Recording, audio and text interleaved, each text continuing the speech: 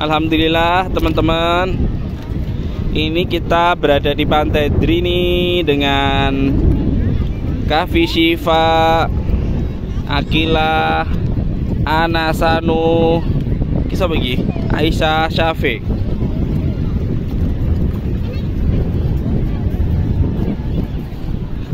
Kavi Shiva Burung di WA mas?